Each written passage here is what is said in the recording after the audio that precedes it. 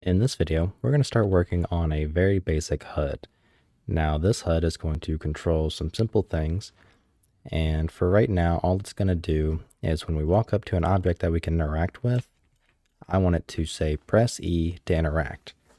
And then whenever we pick the object up, I want that message to go away. Whenever we look away from the object, I also want to make sure it goes away until I look back at the object and then look away again. So we're going to go ahead and start working on the actual widget itself. And then we're just going to simply try to think of a way that we could easily control the message that gets displayed. Now, this is going to cover some basic things such as blueprint events. We're going to create one of those to fire off, and we're also going to be working with widgets so that way you can see the general idea that goes behind making a UI. Now, we're going to keep this as simple as possible, and then eventually we're going to clean it up and break it up in a break up the widget into actual individual widgets. So we're going to create some widgets that we can add to other widgets and keep the functionality, but it's going to be very portable as they're going to be one single U asset. So what I'm going to go ahead and do is right click, new folder in our content, and I'm just going to call it interactable. Drag our blueprint interactable there, open it up, right click, user interface, widget blueprint, and I'm going to call this W underscore HUD. Now if we open that up, you can see that a basic designer. So starting out, we have a canvas panel, and this is just kind of, think of this kind of like your basic, your base of your screen. So anything we drag and drop into here will be displayed in a one-to-one, -one, assuming our resolution is locked in a square, or not a square format, but a 16 by 9 ratio like it is right now. If it's off, it's going to be different, and so on. So we have, we hit the, hold the uh, little arrow here, you can kind of see. We have 720p, 1080p, go to 1440, and so on if you really want to go up to 2160 or 4K. So either of these are fine. You can just leave it. It's not going to make any difference. But I'm going to go ahead and just leave mine here and I want to get it so that it displays this button and this text for me in my screen. Because right now, if I hit play, it's not going to appear. We just have our crosshair, which we're also going to be removing here shortly. So in order to get this widget to come up, we have to create the widget just like we would spawn an actor, for example. And then we would have to add that widget to our viewport. Let's go ahead and do that. We're going to go over here to our first person CPP, blueprints, and open the first person character and go over here to the event graph. Now in the event graph, we're going to go over here to functions, override. We're going to override begin play. And from here, this is where we're going to create our widget and add it to the viewport. Now, normally I would do something like this inside of the player controller, but we do not have one as of yet. And that is something that is to be covered kind of later on in the future. So whenever we actually go and get into just some very simple networking, because that's really all I can think of a way to explain the player controller. So anyways, in begin play, we're going to go ahead and right click and search for create widget. Plug that in. And then we have to choose our class, which is our W underscore HUD. And then we can simply drag off the return value and add to viewport. Now, when we hit play, we see the text blocks and the button right there as they appear. So it's creating the widget that we just made and adding it to our viewport for us to see.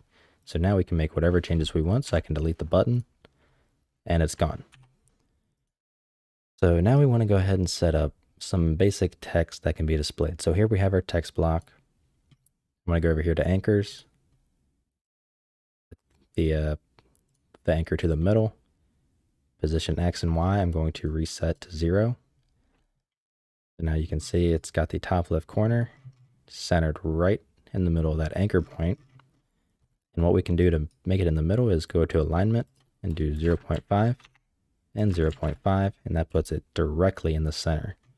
So now all we can do really is just scale it up however we see fit.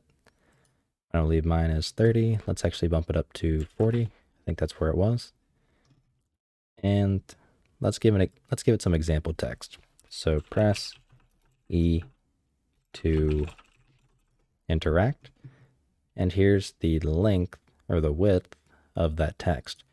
So I'm going to take it and I'm going to just double it. So we're at 60. Let's just go up to 120. That's not what I meant to do.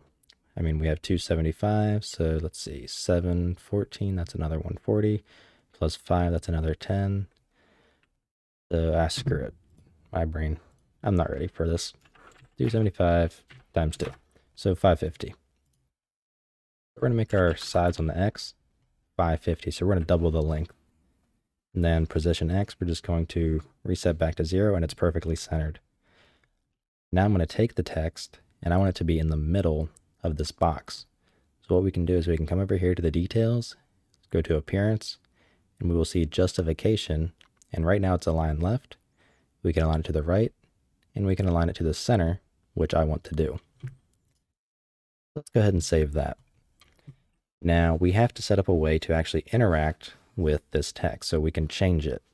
So the way we're going to do that is we want to make this text a variable so that way we can edit it, edit it inside of our graph. Up at the top right with the uh, text selected, we can check is variable and I want to rename it to TB for text box underscore interaction message. And that's how we're going to interact with it. Because if we go to graph, you will see this has now appeared. We now have it as a variable that we can control. I want to go ahead and as well remove the pre-construct. Actually, I'm just going to remove all of these events that come with the widget by default. And I want to set up a function that we can easily call from Blueprint to change this text. So inside a graph, I'm going to create a new function and let's give this a function a name of set interaction text. And the input is going to, I think the easiest way is going to be just make it take in, yeah, we're going to make it actually take in a text, not a string. And I'm just going to call it the input text. Now this is very simple. We just drag off our interaction message text box, search for set text, and that's it. We can just plug it right in just like that. We plug the text to text and the execution nodes together, and we can compile and save. Now if we click on set interaction text, we want to make sure that it's set to public for the access specifier, so that way we can call it outside of this class. And now we need to actually work on figuring out a way to set this from our character because that's where we're going to be working with it for right now. So in first person character, Remember, we have this return value, and this returns a reference to our HUD. So if you recall my videos where I went did a basic explanation of pointers, this is where that would kind of come into play. So this is going to pretty much be a variable or a pointer that points to this HUD widget right here. So that way we have access to it directly. So what I'm going to do is I'm going to actually save it. So I want to go to variables, add a variable, and just call this one HUD. Under variable type, search for W underscore HUD. Press enter, and we're going to make sure we select object reference. Then we're going to drag it out, press set because we want to set this variable, and just plug it in just like so. And then we have this little blue pin on the outside. That's the same thing. It's the HUD. And we're going to connect it to add to viewport and delete the old line that went across. That way they're just kind of two, uh, two separate little, two independent, or these are all independent from one another to some extent. I'm trying to, I couldn't think of what word to use. Now we can compile and save, and we have a reference to our HUD. So now whenever we want, we can drag out our HUD. Let's do a get and search for set interaction text. And here's that function that we just made right here so we can call it however we need to. So we need to set up a way to actually trigger this because we're going to control this from C++. So this is where blueprint events are going to come in. So that is something that we're going to actually work in the next video. But I just wanted to go ahead and get the widget set up for now. And what we're going to do is we're going to create what's called a blueprint implementable event on our character. And whenever we, you know, hover over a object that we can interact with, such as this one right here, which is our interactable object.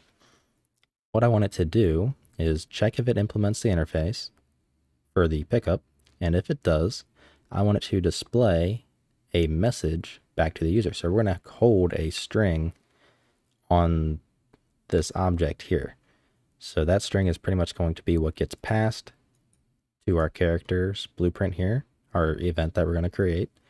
And that from there, we're going to go to this function and we're just going to set the text with it. So we got to make sure we convert the string to a text and that's it. And I'd rather do that just, we're going to do that all in C++ and all we have to do is simply pass whatever text we want into that event and it'll handle it for us. Hopefully that uh, was a decent enough explanation and I'm kind of looking forward to getting started on it. So if you like what I'm doing and you want to help support me, you can find a link to my Patreon in the description. And if you have any questions or anything like that, you can also find my Discord server down there as well. And as always, I will see you in the next video.